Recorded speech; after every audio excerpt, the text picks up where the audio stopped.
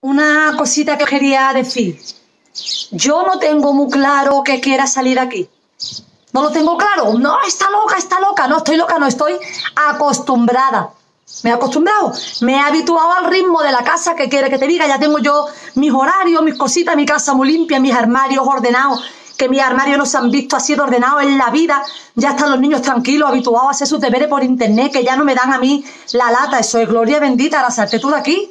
Salte de aquí, métete otra vez las prisas, le vete para el trabajo, lleva al niño al colegio, lleva al niño al karate, lleva al niño al parque de bola, al cumpleaños, que los niños tienen más cumpleaños y más eventos sociales que la reina de Inglaterra.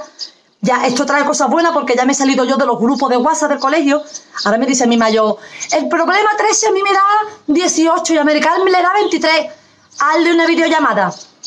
Mi chico me dice ayer, mamá, el cumpleaños de José Luis, que vamos a hacer? No vamos a hacer nada.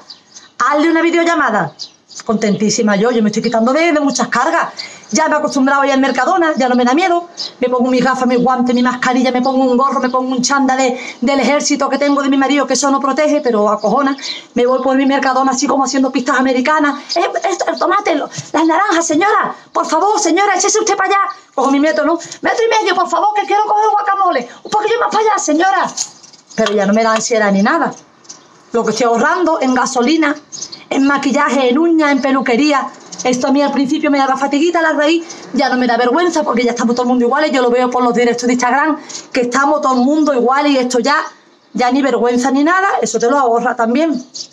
Y lo peor de todo, bueno, lo que más ansiedad me genera, por eso no quiero salir, es porque yo al principio de todo el confinamiento me vine muy arriba con las videollamadas. Hice videollamadas con la gente de la catequesis de hace 30 años, con gente de un colegio que yo estuve un año. Hice videollamadas, hice fiestas de disfraces con la gente del recinto. ¡Eh! Dos por Zoom. ¡Eh! Vamos, tenemos que quedar. Cuando esta acabe tenemos que quedar. La vamos a liar gorda, tenemos, nos tenemos que ver, Vivi. Claro que sí, claro que sí, nos vamos a ver, tú no te preocupes. Yo te llamo, nos tenemos que ver. Y yo me vine muy arriba y yo con toda esa gente no... Hay gente con la que yo, vamos, que no que vamos que no, vamos que no son ni mis amigos ni nada. Me viene arriba porque uno piensa que el confinamiento no va a acabar, pero esto va a acabar y yo no, vamos que tengo una ansiedad con todo lo que tengo atrasado de cumpleaños, de boda, del rocío, de las ferias, de, de las comuniones. Todo eso va para septiembre, por ejemplo. Y todas las quedadas que no quiero hacer. Pedro Sánchez, que si tuve que esto septiembre, octubre, cuando tú veas, cuenta conmigo, que yo en mi casa tan mal no estoy. ¿Qué quiere que te diga? Venga, un saludito.